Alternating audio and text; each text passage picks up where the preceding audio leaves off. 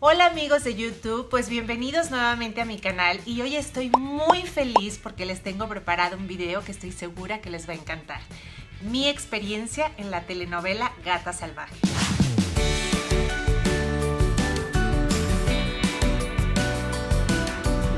No, Gata Salvaje llega a mi vida de la forma más inesperada.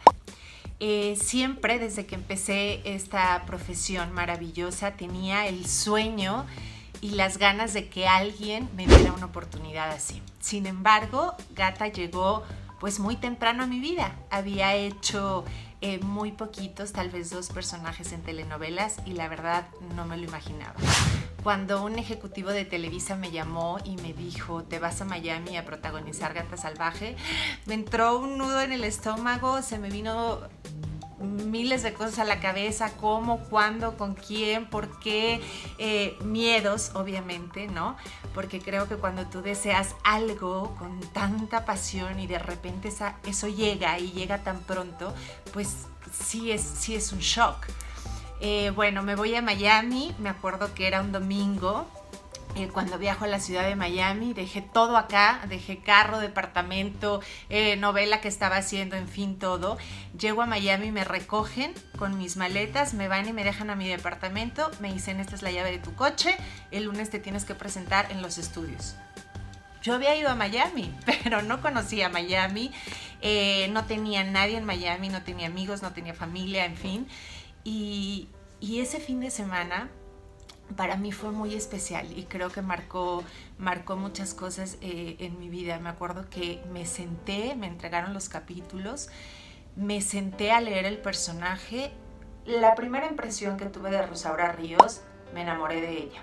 Me enamoré de su dulzura, me enamoré de su inocencia, pero de su furia también, porque era un personaje lleno de colores. Eh, lleno de colores que Alberto Gómez, el escritor, me hizo favor de regalarme, cosa que le estoy eternamente agradecida porque no todas las actrices tienen la fortuna de interpretar un personaje así.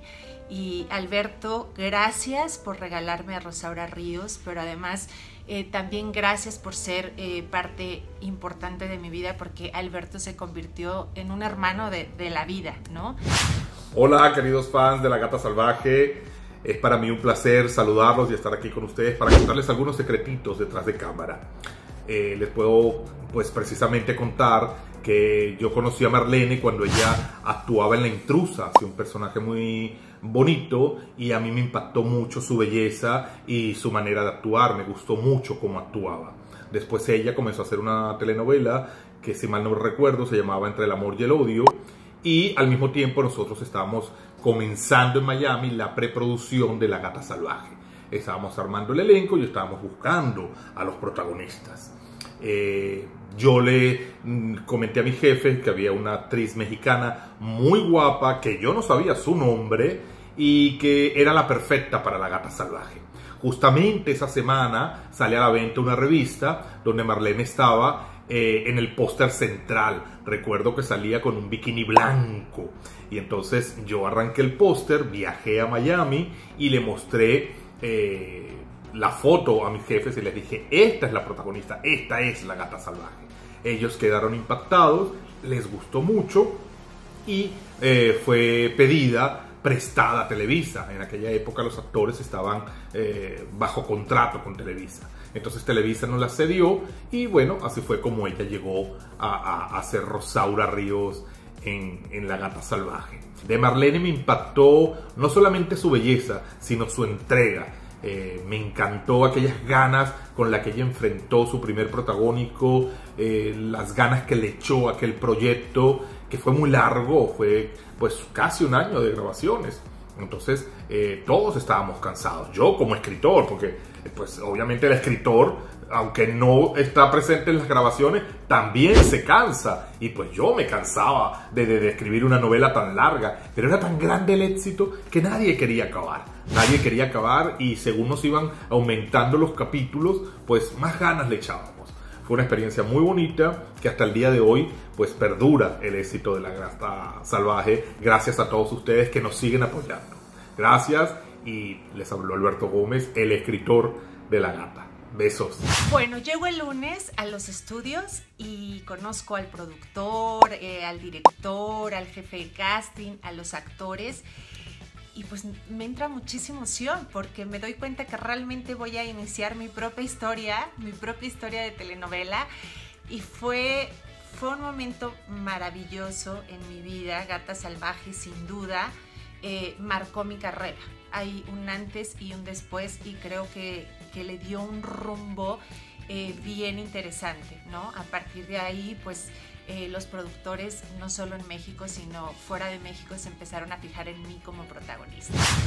Eh, creo que e, esa novela fue un parteaguas definitivamente, pero además tuve la fortuna de trabajar con grandes estrellas, ¿no? Me tocó de galán, pues uno de los galanes más importantes de la televisión eh, uno de los galanes que causa furor con las mujeres, ¿no? Mario Cimarro. Gata salvaje, con su pasión, con tu dulzura, arráncame el corazón. 365 días, un año, 300 y no sé cuántos capítulos. Uno de los años más bonitos que he pasado en Miami con uno de los elencos más chingones. Chula, que pases un año muy feliz junto a tu adorado esposo. Mándale un abrazote a ese cabrón. Creo que hubo una química muy, muy bonita entre los dos. Creo que los dos amábamos lo que estábamos haciendo, estábamos muy pendientes de que, de que lo que lo que estábamos contando les llegara a ustedes de la manera más de la manera más transparente posible, ¿no? Lo que siempre quiere un actor, que lo que estoy haciendo ahora te llegue a ti con la misma pasión, con, la misma entrega, con, con las mismas ganas eh, que estoy haciendo cada escena. Me encanta verte, me encanta oírte. Híjole, si te escuchara a mi hermano Eduardo le estaría dando un ataque al corazón pero no, me hagas caso. Sabes que mejor vete y sigue vendiendo tu comida porque se va a pasar la hora del lunch. Bueno. seguimos hablando en, Y no hay una verdadera historia de amor si no hay una gran villana. Marjorie de Sousa Marjorie de Sousa no solo es una de las mujeres más hermosas de la televisión, sino que además es una gran compañera. Hola a todos los que están conectados en el canal de Marlene. Pues bueno, Marlene, ¿qué puedo contarles a ustedes de Gata Salvaje? Gata Salvaje fue un impacto para todos nosotros, así como para el público, pero más para nosotros porque yo creo que ninguno se imaginó que este proyecto iba a ser el éxito que fue. Recuerdo perfectamente que teníamos mucha ansiedad porque era, por mi lado, mi primera villana y por el lado de Marlene era su primer protagónico. Entonces estábamos realmente muy nuevas las dos. Además de muy niñas. Todavía seguimos niñas, pero estábamos más niñas. pero sí recuerdo que el escritor Alberto, que te mando un beso, eh, siempre le encantaba escribirnos peleando.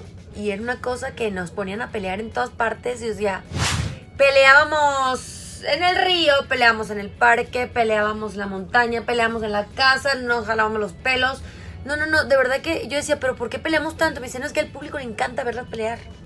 Y entonces se le ocurrió una brillante idea de ponernos a pelear. A mí con un loro en una alberca. Yo decía, pero ¿cómo a pelear con un loro? O sea, tenía terror que me cayera picotazo y el pobre loro ahí, no. Y, y, y, nos tocó pelear a Marlene y a mí dentro de esa, de esa misma alberca. Tú solamente eres su amante, su querida, la otra. ¡No me vas a usar, estúpida! ¡No sabes con quién te metiste, sucia! Ahora te voy a enseñar quién soy yo. Las dos todas raguñadas, encueradas, imagínate pelearte y te dejaban ahí tragando agua.